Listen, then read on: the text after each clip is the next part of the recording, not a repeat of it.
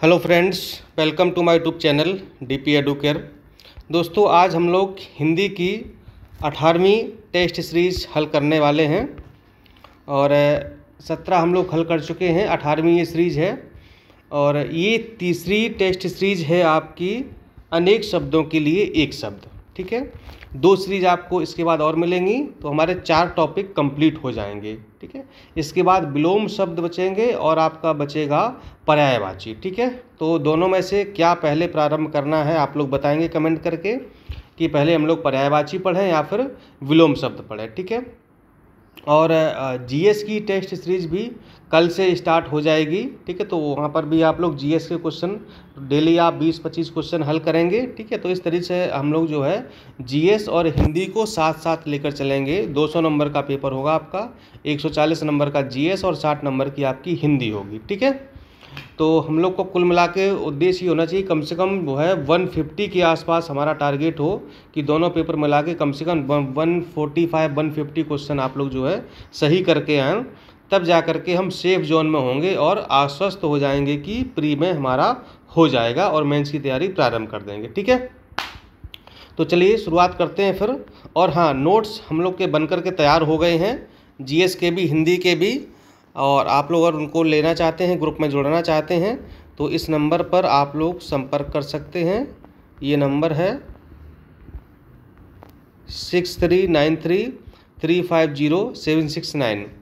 इस पर आप नोट्स लिख करके व्हाट्सएप कर दीजिए, वहाँ पर आपको रिप्लाई किया जाएगा कि कैसे आप नोट्स वाले ग्रुप में जोड़ पाएँगे। पीसीएस की टेस्ट सीरीज़ प्रारंभ हो चुकी है, वो भी आपको मिल जाएगी। उसके लिए टेस्ट सीरीज़ लिख करके व्हाट्सएप कर दीजिए इसी नंबर पर। और जो आरओ की सीरीज़ है समीक्षा अधिकारी सीरीज़ 2021 के लिए, वो आपको 15 जून के आसपास उपलब्ध कराई जाएगी, ठीक है? जिसमें करीब 40 सीरीज़ होंगी सब मिला करके Hindi, GS current affairs UP special, ये सब मिला करके लगभग 40 सीरीज़ आपकी होंगी, वो आपको 15 जून को दी जाएगी और एक महीने तक चलेगी, यानी 15 जून से 15 जुलाई तक एक महीने चलेगी और 15 दिन बचेगा, उसमें आप लोग प्रैक्टिस करेंगे, एक अगस्त को एग्ज़ाम देंगे, ठीक है?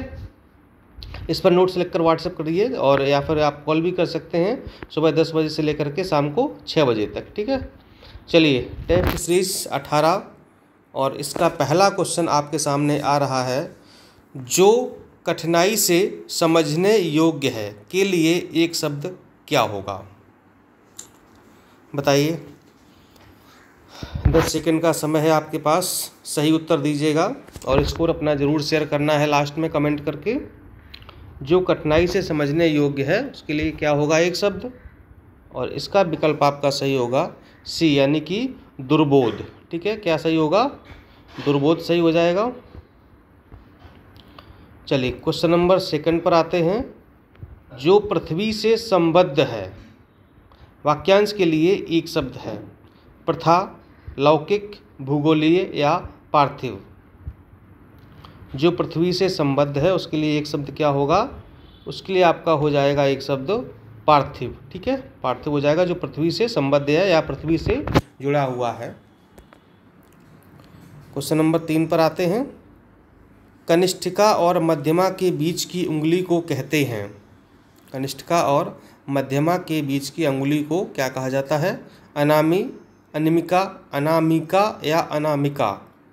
कौन सा विकल्प सही होगा? और इसका आंसर आपका हो जाएगा डी, अनामिका कहा जाता है। ठीक है, ये प्रश्न पूछा गया है आर में। क्वेश्चन नंबर फोर, जिसकी कोई कीमत ना हो सके, वाक्यांश के लिए एक शब्द है। कीमती, अमूल्य या बहुमूल्य या फिर उपयुक्त में से कोई नहीं। जिसकी कोई कीमत ना हो सके। तो ये आपका हो जाएगा अमूल्य, ठीक है? यानी जिसका कोई मूल्य ना हो अमूल्य है, ठीक है?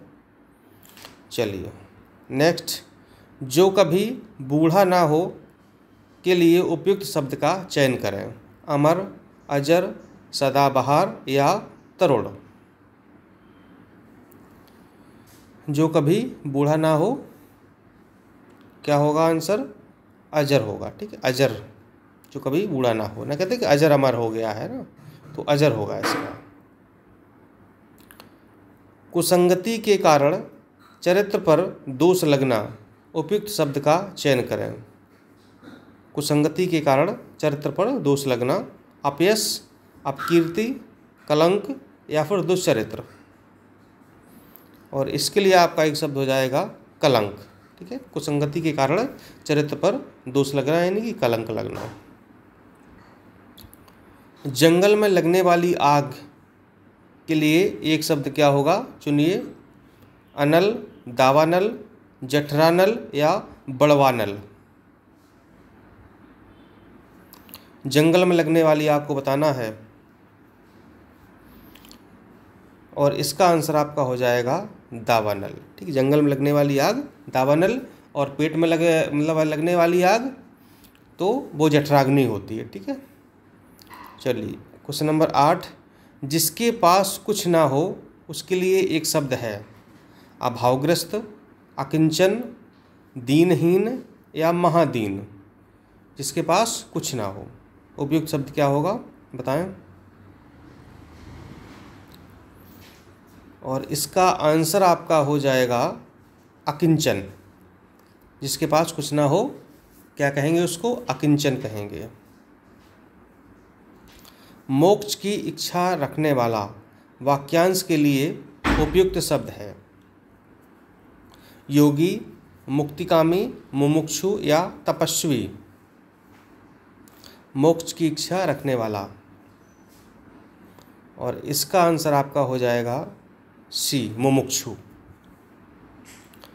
क्वेश्चन नंबर टेन पर आते हैं। हवन में जलाने वाली लकड़ी के लिए शुद्ध शब्द क्या होगा?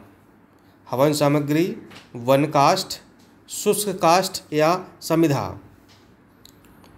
जो हवन वगैरह में लकड़ी इस्तेमाल की जाती, प्रयोग की जाती है, उसको हम क्या कहेंगे? उसके लिए एक शब्द होता है समिधा। पति युक्ता स्त्री को एक शब्द में क्या कहेंगे? पति युक्ता स्त्री। ये तो शायद क्वेश्चन एक बार हो भी चुका है आई थिंक ऐसा कुछ था प्रश्न। तो इसका आंसर आपका हो जाएगा सी यानी कि सदवा, ठीक है?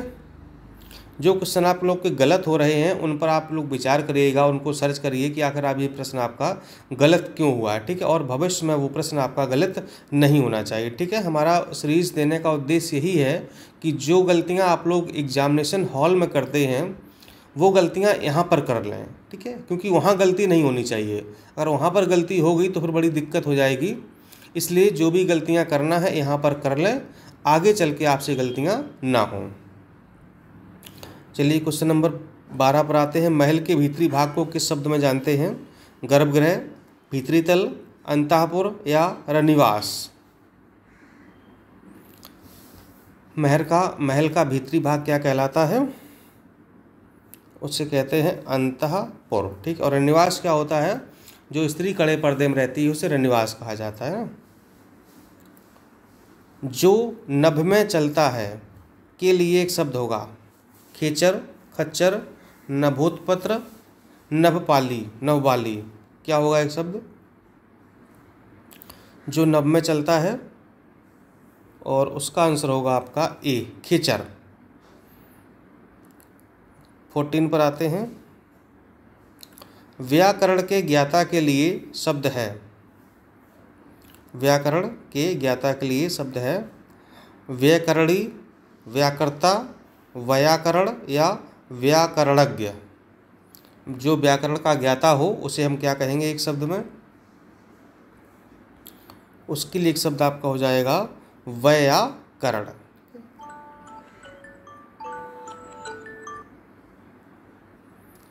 क्वेश्चन नंबर फिफ्टीन पर आते हैं। बढ़ा चढ़ाकर कहना के लिए एक शब्द है। बढ़ा चढ़ाकर कहना। क्या होगा? अतिवादी, अतिशय, अत्यंत, अतिशयोक्ति। और इसका आंसर आपका हो जाएगा अति सयुक्ति क्वेश्चन नंबर फिफ्ट सिक्सटीन पर आते हैं। बहुत अधिक बोलने वाला व्यक्ति। वक्ता, अधिवक्ता, प्रवक्ता या वाचाल। ये तो आप सही लगा ही देंगे।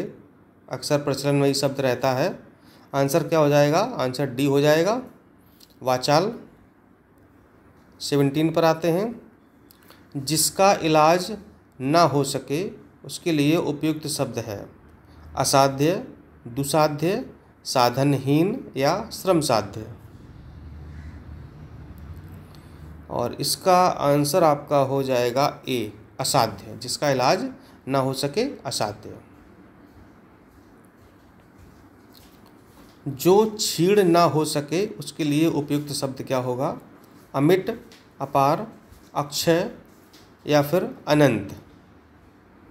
जो छीड़ ना हो सके, और उसके लिए आपका एक शब्द होगा अक्षय। नाइनटीन पर आते हैं। जो एक कुछ जानता है।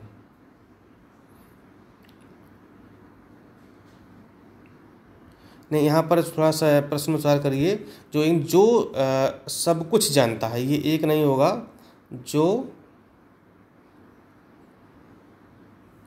जो सब कुछ जानता है उसके लिए एक शब्द क्या होगा? जो सब कुछ जानता है के लिए उपचार शब्द क्या होगा? त्रिकालज्ञ बहुज्ञ ज्ञानी या सर्वज्ञ। और इसका आंसर आपका हो जाएगा डी ठीक है? जो सब कुछ जानता है उसे सर्वज्ञ कहेंगे। और लास्ट क्वेश्चन ट्वेंटी है, जिसके सिर पर चंद्र हो के लिए उपयुक्त शब्द क्या होगा? चंद्रशिखर, चंद्रशेखर, चक्रधर या चंद्र ग्रहण जिसके सिर पर चंद्र हो। उसे हम लोग कहेंगे चंद्रशेखर, ठीक है? जिसके सर पर चंद्रमा हो। चलिए, ये हो गई आपकी अठारहवीं सीरीज़ और जीएस की भी आपको कल से मिलने लगेगी। तो दो सीरीज़ आपको दिन भर में मिलेंगी। काफ़ी क्वेश्चन आपके पास कलेक्शन हो जाएगा, ठीक है? फिर मिलता हूँ अगली सीरीज़ में। नमस्कार, धन्यवाद।